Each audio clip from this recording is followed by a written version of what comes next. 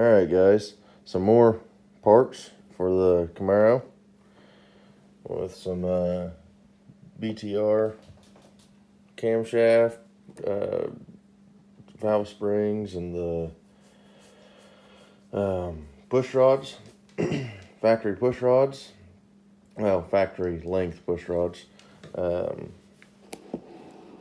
all made in the USA still. There's the cam. Just went and picked all this stuff up today. It's uh got it for a really good deal. Um, paid quite a bit less than what I would have brand new, but it is all brand new. It's just second hand brand new. The guy that I got it got it from decided he was going a different route. Oh, what's this say? Warning. Oh. Making sure I install all the new parts. Which I'm not doing. I'm having somebody else doing that. I'm paying somebody knows what they're doing. But those look way better. I'll, uh, I'll take you out to the garage here in a minute and show you the heads that I also picked up. I ended up picking up a set of 317 heads that all these are all this stuff's going to go into.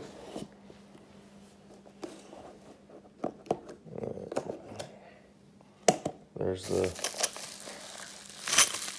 push rods.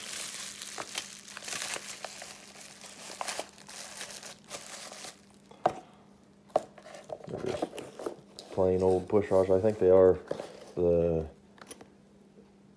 080 thousandths or yeah, the 80 thousandths uh, thickness ones or whatever.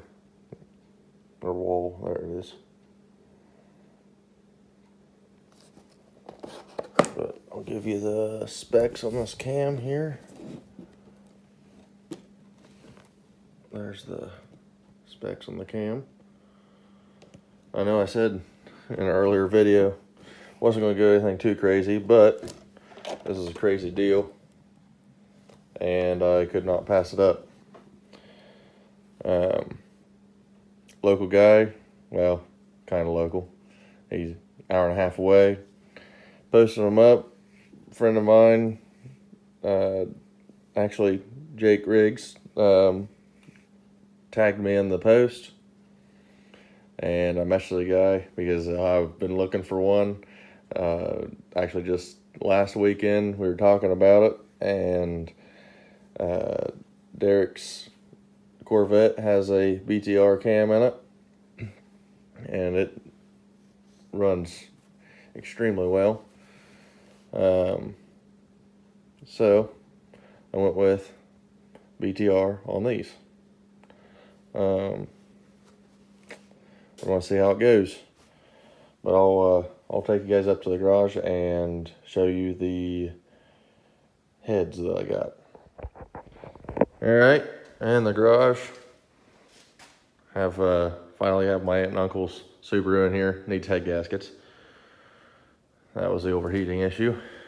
Um, 3000 GT. My dad actually got tags for it, and he's been driving it. We were supposed to have hail, so I stuffed the Nissan in here and the 3000 and the and then my dad's Jeep. Um, the uh, hail never came, so be moving this out here soon. I hit a rabbit with it a couple days ago, and yeah, so debating on going back to a stock bumper. Really don't want to. I like the look of this bumper when it's not all beat up. Uh, might order another one, or might fix the other one that I have. Uh, comment in the down below I know this is not a censor video, but comment down below and um, tell me if you want me to go with the factory bumper or get another one of these or fix the other one I have because this one right here is pretty well trashed. Uh, and then I also got to get the hood painted too. That will be that'll definitely be done. But oh, tripping over the doors in here. I'm gonna go up here and show you guys the heads I got.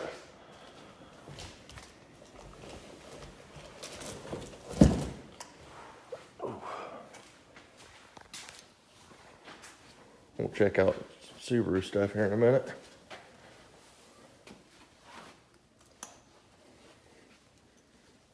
But these are the 317 heads. I drove about an hour and 45 minutes, which only should have took about an hour and a half, but I'm in a Jeep, so took a little longer.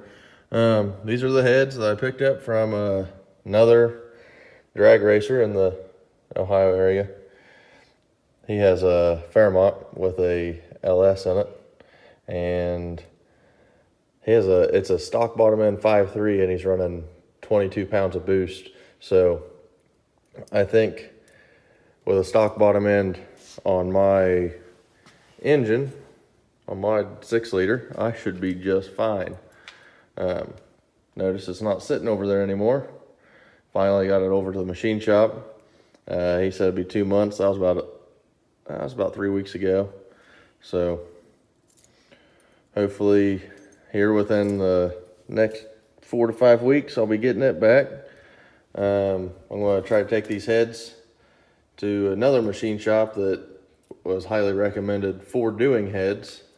Um, and then hopefully they'll be back about the same time that the, I get the engine back and uh, we start putting it all together. I have because in the other video, I might throw this one onto that video. The other and the other video, other part of this video, yeah, and the other part of this video, I have all the gaskets for this. So I'll be able to throw these heads back in or on and then um, throw the crank back in it and start assembling this engine. Once this thing gets completely put together, then we'll be moving on to transmission. Um, and I'll probably be having somebody else build that because it's too dirty in here to do a transmission. And I'm not going to build, I'm not about to build a transmission for, you know,